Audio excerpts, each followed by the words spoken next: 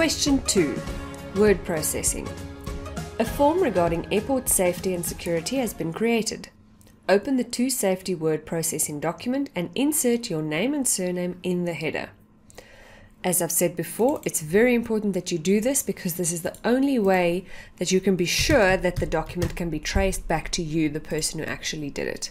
2.1 Insert the picture to river next to the text on the first three lines to display as follows. Okay. Note there should be a border around the text and the picture. So usually they say ignore the picture around everything. But this time we need to do the border around everything and the border around the picture. Okay, so this is quite a challenging one because there's so many different ways to do this. So let's have a look at one or two ways. So let's just first insert the picture. Insert picture.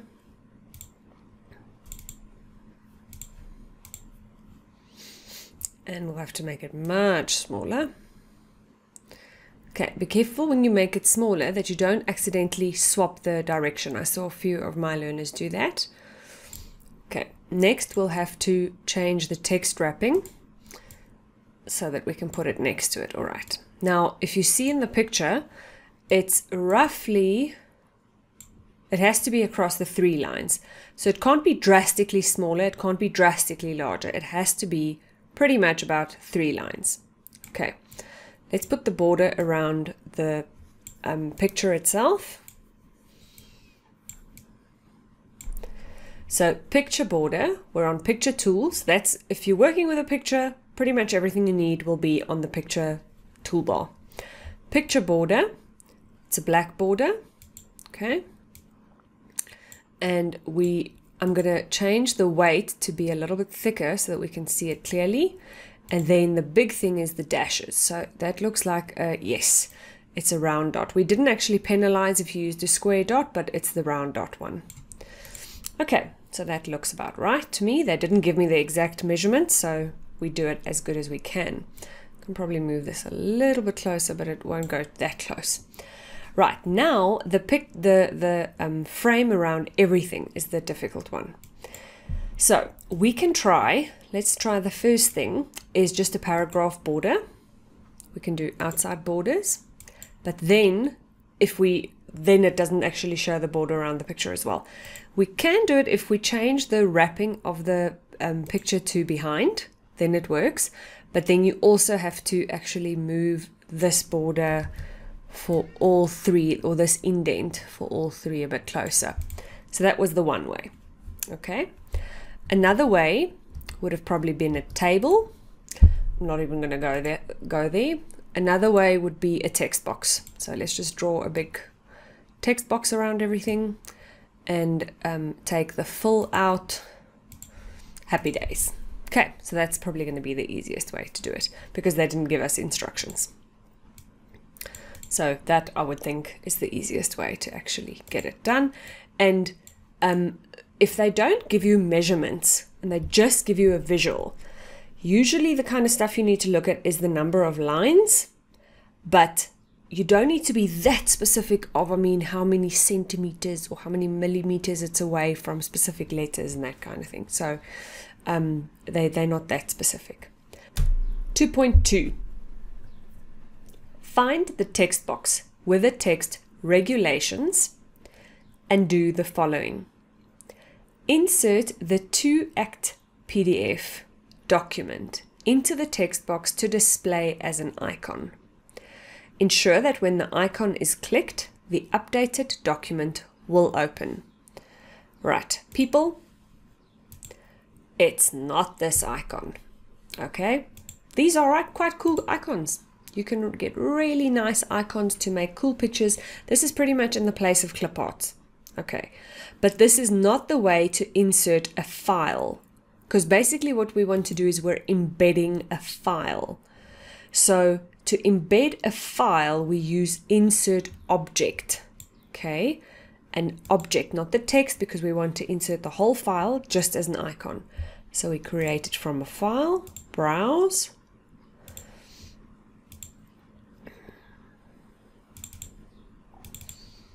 and it's to act.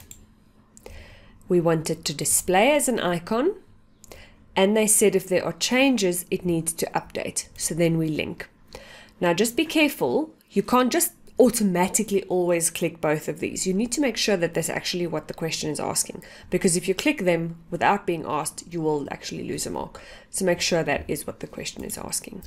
And that's what it was supposed to look like. And when we mark, we actually press this to check it's it's a code alt F9 so that we can check the field codes to see if you actually did it correctly. 2.3 Find all the text where only words are underlined and replace it with the same words in a bold and italic font style. Right, this is once again one where you just have to do what the question asks and not try and interpret and think something went wrong. So replace, find what, format, font. Okay, underline style, words only, because they said only words must be underlined. Replace it with bold and italic. Now you see you can't choose bold, can't choose italic separately. Bold italic is the option. And replace all. And you'll see if you did that, this isn't, this wasn't changed. Only this and this was changed. For some reason, this one wasn't changed. Don't know why, but you leave it like that. That's how we can actually check that you did it correctly. Okay. 2.4. Find the form and make the following changes.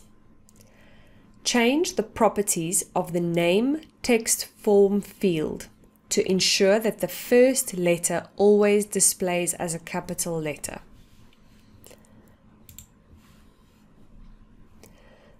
all you need to do is double click and then it opens up the form field options. If only the first letter needs to display as a capital, then it's a first capital text format. Okay. Next one, add hybrid as the first option for the offense type drop down form field. So there's already one. Okay. What was it that we were supposed to add? Already forgot it. Um, hybrid. Okay. So we put in hybrid. You say add, and then you'll see that left it at the bottom. So you have to move it up to the top. Okay, now it's at the top. Now, the last one asked add a checkbox form field for the no option. Right, now, this is very important. Please listen. On the Developer tab, you'll see this is a checkbox, but it's a content control. It's not a form field. There's a difference. The form fields are in this little suitcase, the legacy tools. You'll see if I hover over this one, that is a checkbox form field. You do not get marks for anything at the top here because we don't ask that.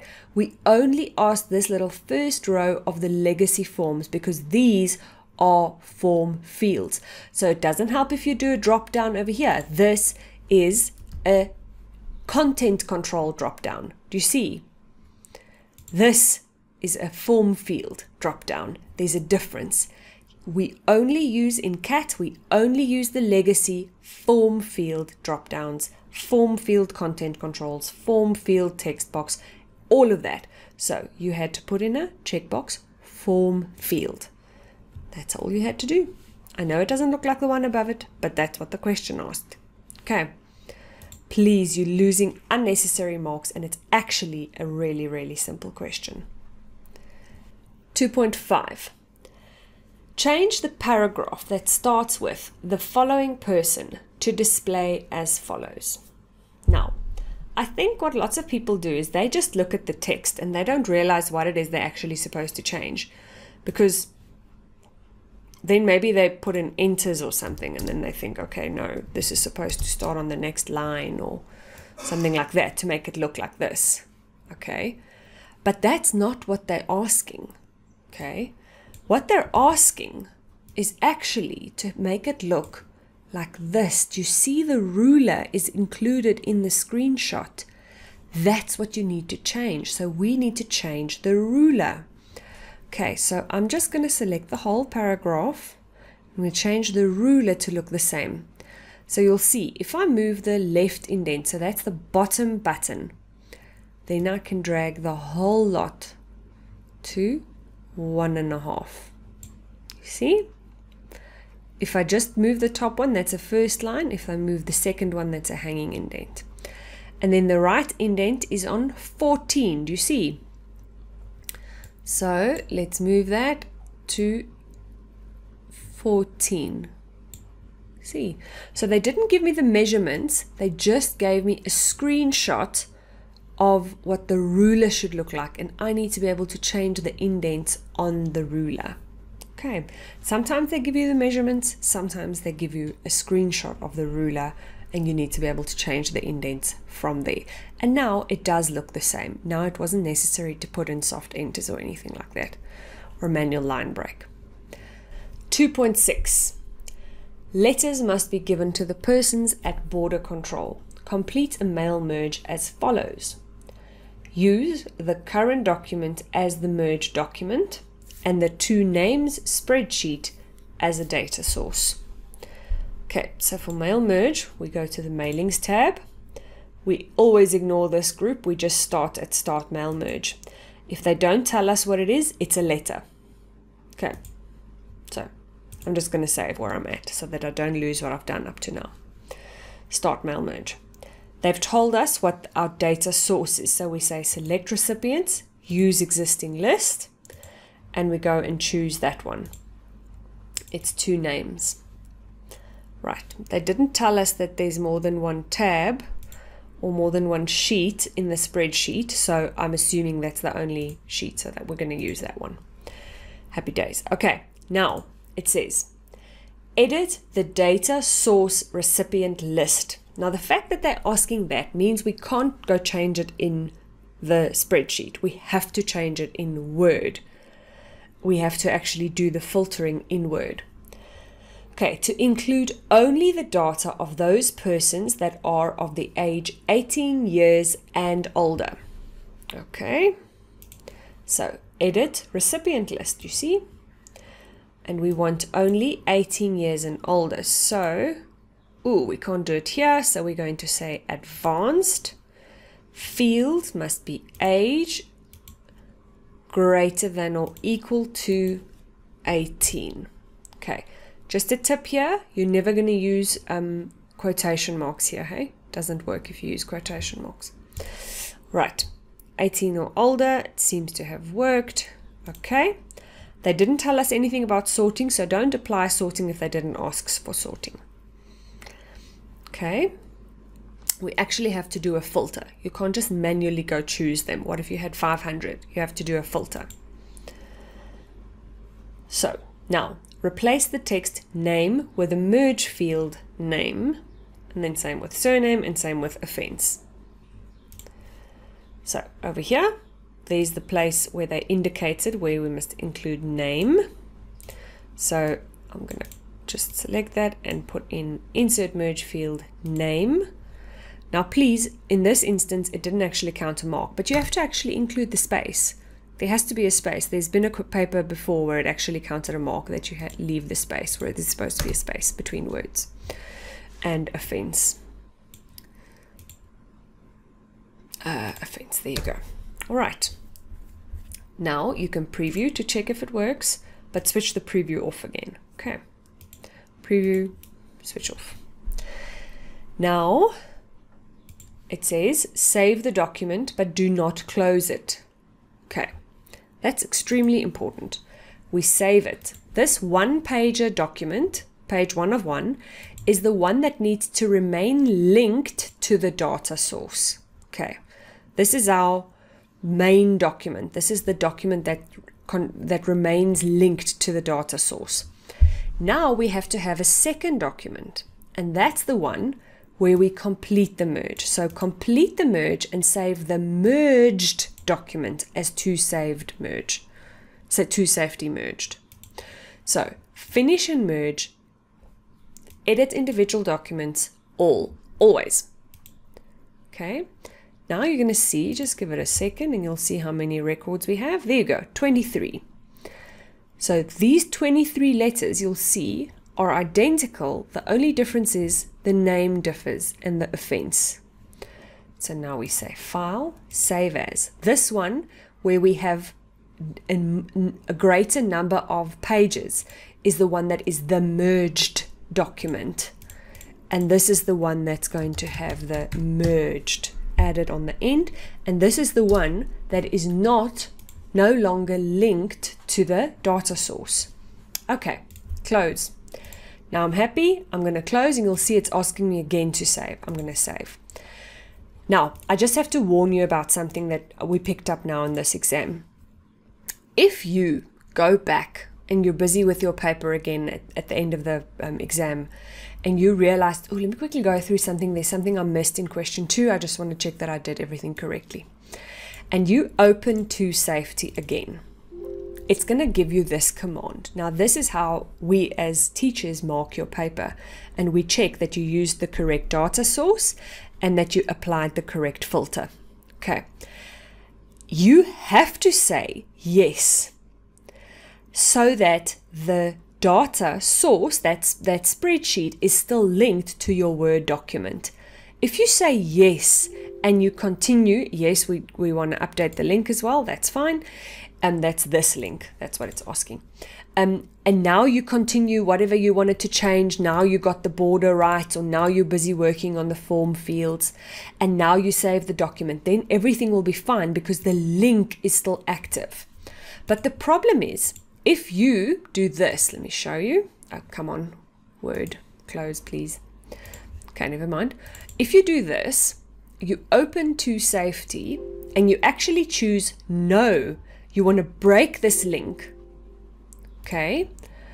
Then you'll see in mailings, it's not linked to your data source anymore. And if you then make changes, such as changing the form fields or whatever it is, now you've got the find and replace right or whatever, and you save this document again, then when we as teachers mark it, we can't award the first mark because we can't see that the merged or that your um, mail that your main document, your Word document, is actually still linked to your Excel document. So this is extremely, extremely important. If you go back to a mail merge document and you want to fix it, you actually have to choose yes. It's critical. Okay. Thanks everyone.